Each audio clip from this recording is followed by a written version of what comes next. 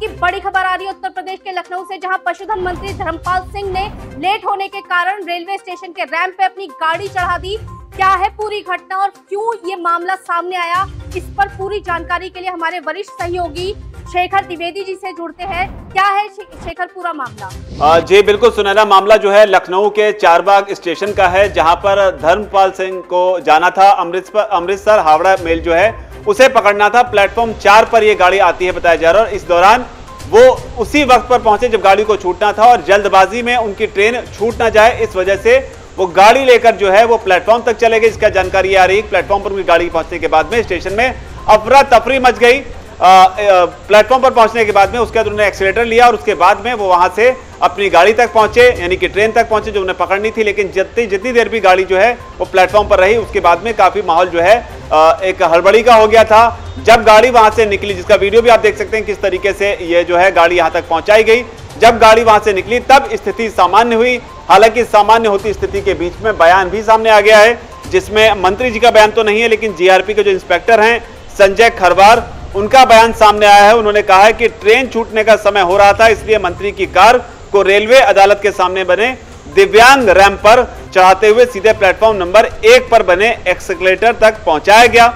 Accelerator चढ़कर वो platform number चार तक गए। लेकिन फ़िलहाल ये वीडियो सामने आ गए जिसके बाद में कई सारे सवाल भी खड़े हो रहे हैं, क्योंकि लगातार इस तरह की बातें सामने आती रही, जिसमें ये कहा जाता रहा है कि वीवीआईपी कल्चर को खत्म करना है, लेकिन मंत्री जी की इस हरकत के बाद में विवाद खड़ा हो गया है। अब देखना होगा, इसे लेकर उनकी तरफ़ से क्या कोई सफ़ाई भी सामने आती है? तो शेखर, अगर हम एक बात करें, जो ये घटना सामने आई, एक तरफ़ प्रदेश के मुख्यमंत्री योगी आदित्यनाथ कहते हैं कि अब हमारे यहाँ पर बीजेपी में कोई वीआईपी कल्चर नहीं है, कोई मतलब वीआईपी ट्रीटमेंट नहीं लेगा, चाहे कितना भी बड़ा नेता हो। तो लेकिन ये मामला जो सीधा प्लेटफॉर्म तक गाड़ी को ले जाना सारे नियमों को ताक पर रखते हुए, क्या ये वीआईपी कल्चर नहीं है? कैसे खत्म इस इस घटना पे आप क्या कहेंगे? जी, बिल्कुल सुना सीधे तौर पे से वीवीआईपी कल्चर से जोड़कर देखना तो शायद ठीक नहीं होगा, क्योंकि देरी हो रही थी, इसलिए उन्होंने पहुँचा दिया। ये एक तरीके से जजमेंट ऑफ़ एरर है कि आपको हड़बड़ी में क्या करना है और क्या नहीं करना, ये शायद आप तय नहीं कर पाए। अगर आपकी ट्रेन छूट भी रही थी, आपको समय से समय से पहले पहुँचना चाहिए था,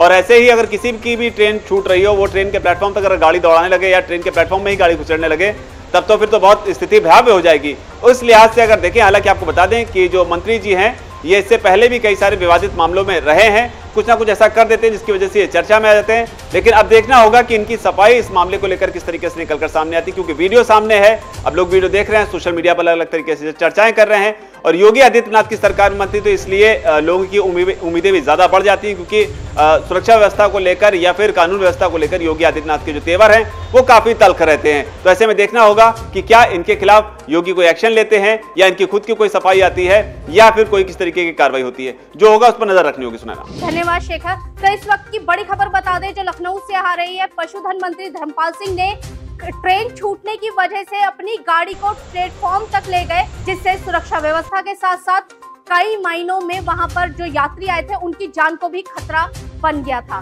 तो ये थी इस वक्त की बड़ी खबर। वीके न्यूज़, राष्ट्र के नाम।